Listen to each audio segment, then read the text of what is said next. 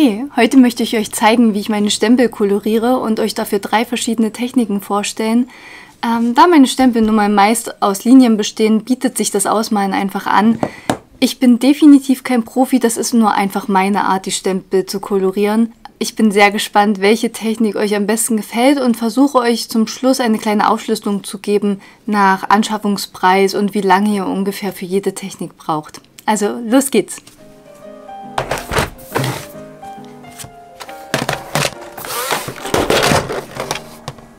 Ich benutze heute Aquarellfarben, Buntstifte und Alkoholmarker.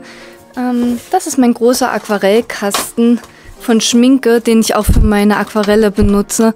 Ihr braucht nicht so einen großen Kasten. Die Grundfarben reichen völlig aus und alles andere könnt ihr euch dann mischen. Ähm, bei den Buntstiften benutze ich die Polychromos vom Faber-Castell. Das war ein Geburtstagsgeschenk. Das sieht natürlich toll aus in diesem großen Kasten. Aber auch hier, ihr braucht nicht so viele. Man kann die super durch Überlagern mischen. Und ähm, da reicht auch das kleine Set. Und zum Schluss habe ich noch die Alkoholmarker. Die habe ich mir während des Studiums nach und nach angeschafft und jetzt habe ich einfach diese große Box zusammen. Ähm, es gibt günstigere Varianten davon. Schaut da einfach gerne mal nach. Ich arbeite heute mit dem, was ich habe. Das Wichtigste für dieses Video sind natürlich die Stempel und zum Glück habe ich genug davon.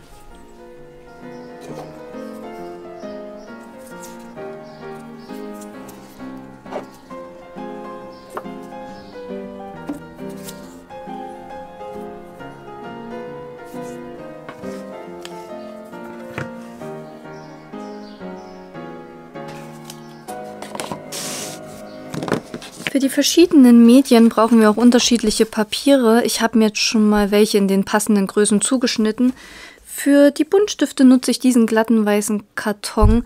Ein matteres Papier wäre zwar schöner, aber das, was ich da habe, ist leider zu dünn, um es danach auf den Karten verarbeiten zu können. Deswegen ist dieses in Ordnung. Und genau das gleiche benutze ich auch für die Alkoholmarker.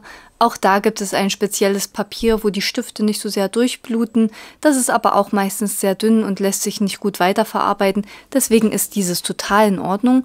Ähm, für die Aquarellfarben brauche ich natürlich Aquarellpapier oder wenigstens ein Mixed Media Papier, damit sich das Papier nicht wellt. Ähm, das hier ist jetzt eins mit 25% Baumwolle. Es gibt wesentlich bessere Papiere, es gibt wesentlich schlechtere. Das ist ein gutes Mittelmaß und reicht für meine Zwecke vollkommen. Für die unterschiedlichen Techniken brauche ich auch unterschiedliche Stempelkissen.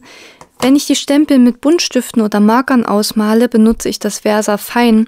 Das ist ein super schönes, sattes Schwarz und sehr gut geeignet für feine Linien und Details. Wenn ich aber mit Aquarellfarbe male, soll der Abdruck ja wasserfest sein. Dafür benutze ich das Cess-On. Das lasse ich dann kurz trocknen und kann dann problemlos mit der Farbe drüber gehen, ohne dass die Linien verlaufen. Jetzt geht es mit den Abdrücken los. Da ich euch jedes Motiv in drei Varianten zeigen möchte, brauche ich jeweils drei Abdrücke. Die mache ich jetzt alle auf einmal, damit der wasserfeste Abdruck gut trocknen kann und ich keine Wartezeiten habe.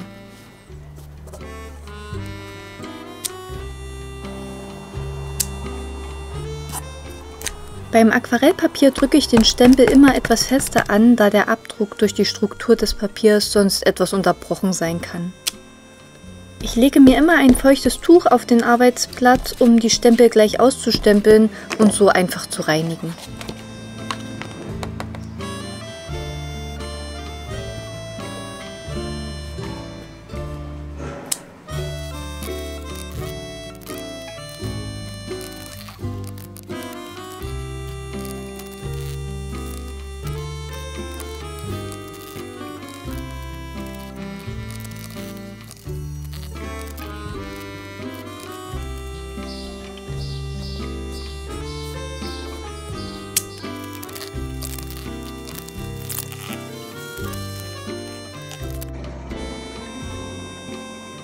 Los geht es jetzt mit der ersten Variante, dem Buntstiften.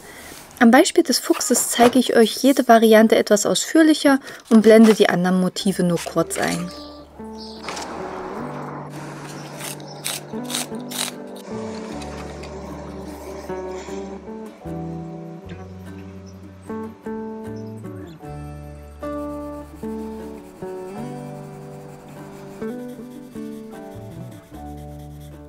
Ich spule hier mal etwas vor, weil es wirklich lange dauert, die einzelnen Schichten aufzutragen. Für den Fuchs habe ich etwa 15 Minuten gebraucht.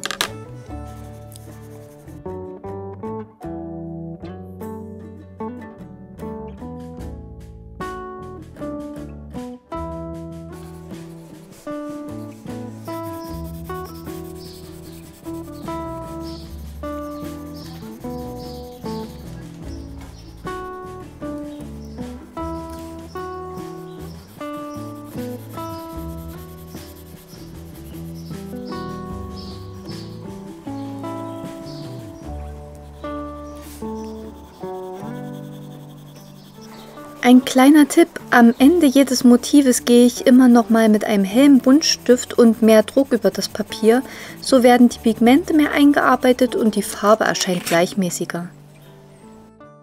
Kommen wir zu den Markern, auch hier etwas ausführlicher am Beispiel vom Fuchs. Ich benutze vier Rottöne, theoretisch hätten aber auch zwei gereicht, ein heller und ein dunkler.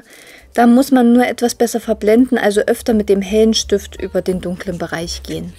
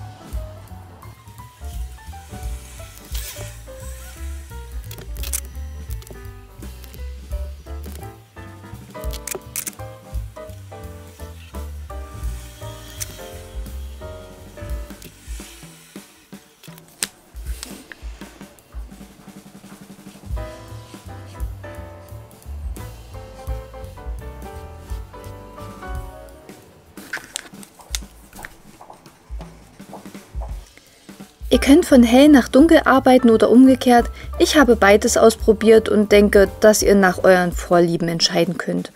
Pro Motiv habe ich etwa 6 Minuten gebraucht.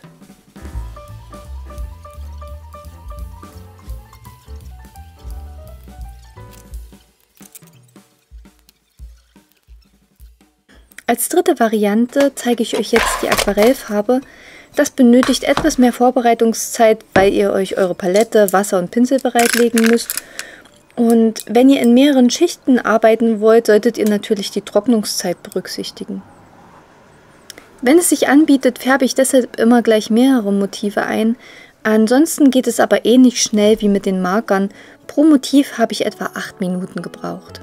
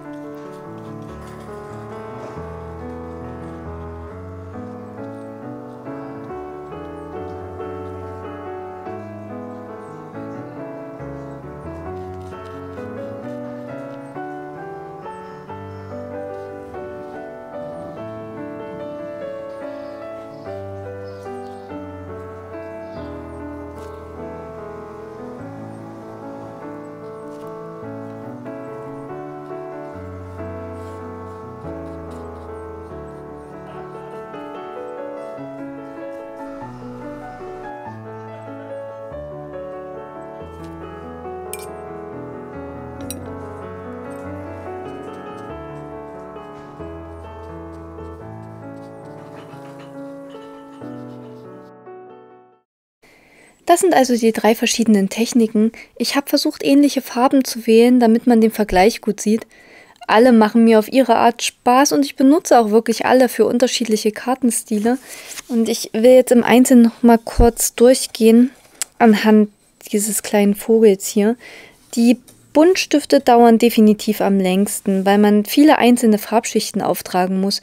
So vermeidet man die Striche, die man sieht, wenn man eben mit nur einer Schicht arbeitet. Wenn das natürlich gewollt ist, dann geht es auch viel schneller. Ich denke, diese Technik ist am günstigsten in der Anschaffung. Wahrscheinlich hat jeder von euch ein paar Buntstifte zu Hause. Und meiner Meinung nach kann man auch am genauesten damit arbeiten. Es dauert eben etwas länger, aber es kann auch sehr meditativ sein. Aha, die Marker sind dagegen recht grob, auch wenn die Pinselspitze wirklich feines Arbeiten zulässt. Ich trage die Farbe nur immer sehr schnell auf, um unschöne Ränder zu vermeiden und bessere Übergänge hinzukriegen. Die Farben sind wunderschön satt und leuchtend, aber man benötigt schon ein paar, um anständige Verläufe hinzukriegen. Das macht diese Technik relativ teuer.